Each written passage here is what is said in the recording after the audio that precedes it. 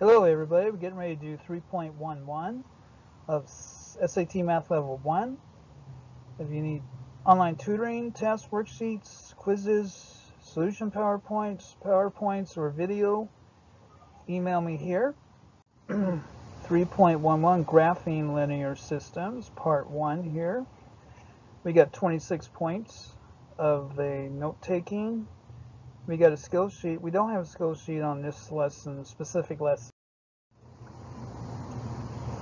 Overview of this section, and if two lines intersect in the xy plane, then their point of intersection represents the solution to the system of equations. The set of all points satisfying the inequality lie on one side of the line called a half plane.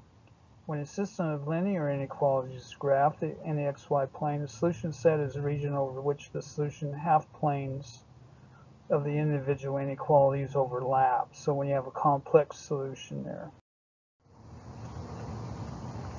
Systems of linear equations, a two system linear equations graphed in the xy plane, and there are three possibilities to consider.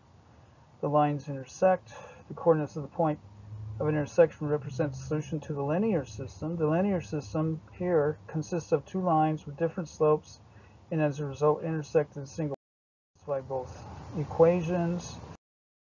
So that was an example there of a graph intersecting.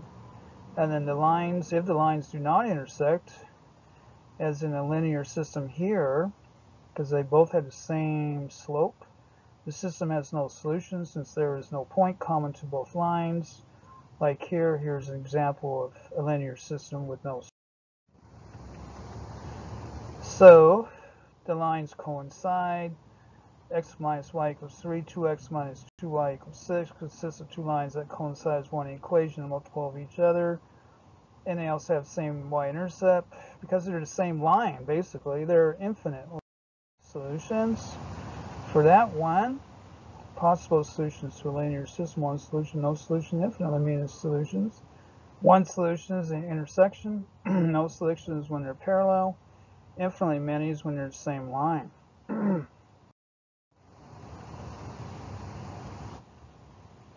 so here's an example here of a system. In a system of linear equations above, k is a constant. If a solution has no solution, what is the value of k? as the graphs of the equations are parallel. So we got to find uh, m y equals mx plus b, where m is the same for both. So if if two thirds x minus one half y equals seven, then one half then negative one half y equals negative two thirds x plus seven. So y equals four thirds x minus fourteen. That's the one put into uh, slope intercept. So for kx, kx minus 6y equals 4. Then we solve for y here. We get this on this side. It's in slope-intercept form. Since parallel lines have equal slopes, 4 thirds equals k over 6, so 3k equals 24, and k equals 24 over 3 equals 8. The value of k would be 8 in this case here graphing a linear inequality, so We're going to graph this inequality here. These are inequality symbols. This is a broken line, so it's like a an imperfect inequality written like this here. Doesn't have an equal sign underneath it. Dotted line for if after solving for y in terms of x inequality is this or that, then the solution lies above the boundary line. If the inequality relation is this way, pointing the other way, uh, the solution region lies below the boundary line. Since this is a less than, it comes and it becomes this here, and the inequality is less than, the solution region lies below the line. It, it's a less than, so it lies below. System of linear inequalities. Now in this case, the solutions will overlap these two uh, inequalities here. Here's 1 y equals x plus 1. And since it's less than or equal to, the line is solid. This one will have a dotted line. consists of all the points. Here is the dotted line here. y equals negative 1 half x plus 4. This is the line here. So when you blend these two together, these two solutions, here's the solution right here for that system of inequalities where the two solutions and that was the overlap there.